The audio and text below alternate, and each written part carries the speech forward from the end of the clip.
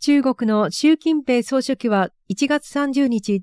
北京でイスラム主義組織タリバンの暫定政権によって任命された大使から信任状を受け取りました。これまでタリバン政権を認めた国は一つもありませんでした。このニュースは瞬く間にネットユーザーの間で熱い議論を引き起こしました。一部のネットユーザーは、習近平を核とする新ジャーク数実国が正式に確立された。共産党と彼の盗賊の友人たちの会合。まだ中国に残っている外資系企業は一刻も早く撤退すべきだとコメントしました。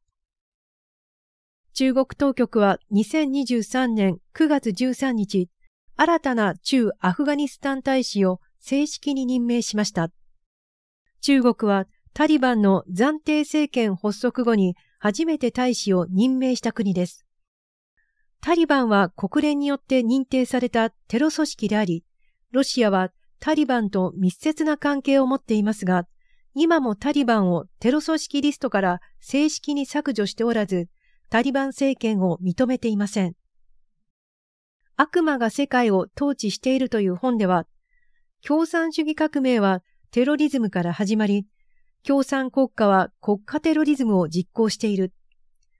旧ソビエト連邦と中国共産党は西側自由世界に対抗するための別動隊として国家テロリズムを支援していると指摘されています。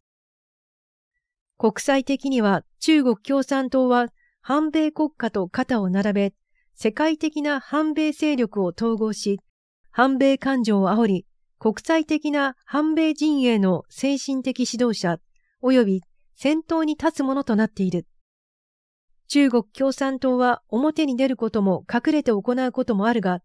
テロリズム組織を支持し、経済援助、武器装備、戦術訓練、そして世論支持を提供している。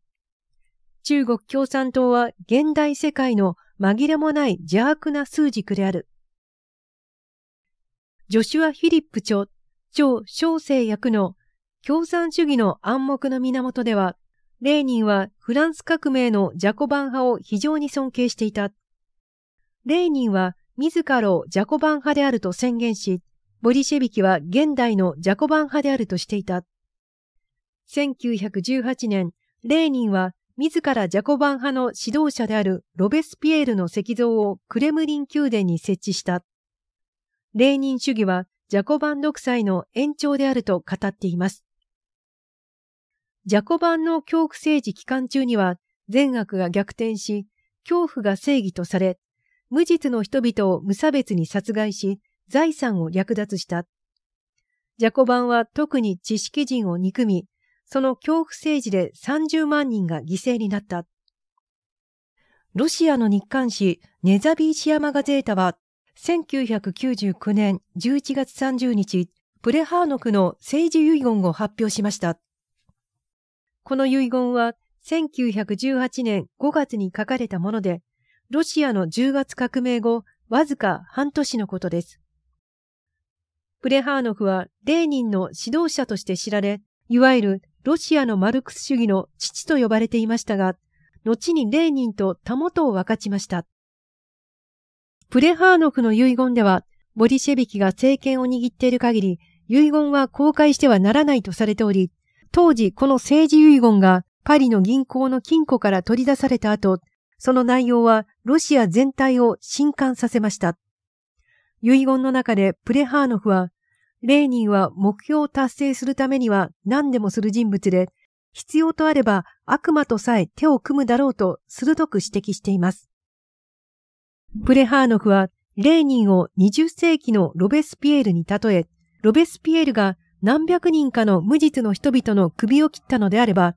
レーニンは何百万人の首を切るだろ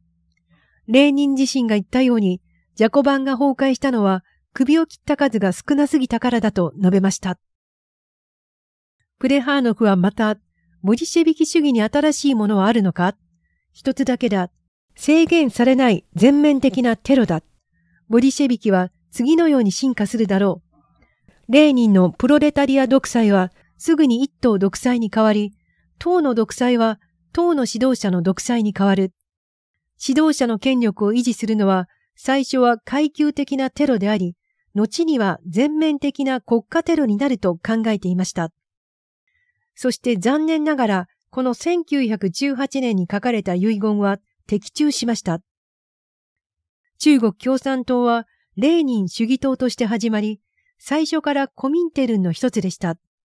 コミンテルンは1919年3月にモスクワで結成され、中国共産党は最初からソビエト共産党の支配下にありました。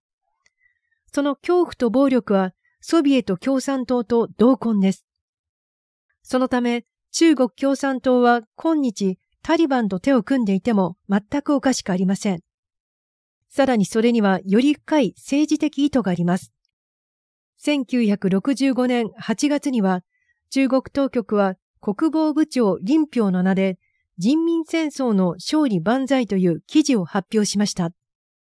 この記事は農村から都市を包囲する理論に基づき、北米と西ヨーロッパを都市に見立て、アジア、アフリカ、ラテンアメリカを農村に見立てて、革命の輸出のロードマップを設計しました。その目的はいわゆる世界革命です。中国共産党は世界を支配する野望を決して諦めていません。北朝鮮、イラン、タリバンなどの政権を支援する目的は、アメリカとその同盟国を牽制し、弱体化させ、最終的にはアメリカを機え、共産党の邪悪な支配を世界中に拡大することです。この目標は、毛沢東、鄧小平、そして今日に至るまで一度も変えたことがありません。アメリカの著名な中国問題専門家であるマイケル・ピルズベリー氏は、2016年に秘密裏に遂行される世界覇権100年戦略という本を出版しました。彼はアメリカの各界の人々は中国の経済発展が最終的に中国共産党の政治改革の扉を開くと信じてきましたが、現状は中国共産党の目的は2049年に中華人民共和国建国100周年を迎える時までに中国共産党式の政治、経済、科学技術、軍事システムを確立し、アメリカを超えることだと示しています。彼はまた、アメリカが中国共産党内部の強硬派の影響力を過小評価している。さらに強硬派の見解が中国共産党の戦略思考をリードしていると考えています。彼は記者とのインタビューで、この本の重点は中国共産党に対して我々はあなたたちが想像しているほど愚かではないというメッセージを伝えることですと述べました。それを見たいつの日だったろう。畏敬の念を抱くほどの壮麗さ。人生さえ変えるほどの力強さ。時が経つのも忘れるほどの美しさ。今再びその感動が訪れる。今年も演目を一新してあなたを待っています。シェンユン。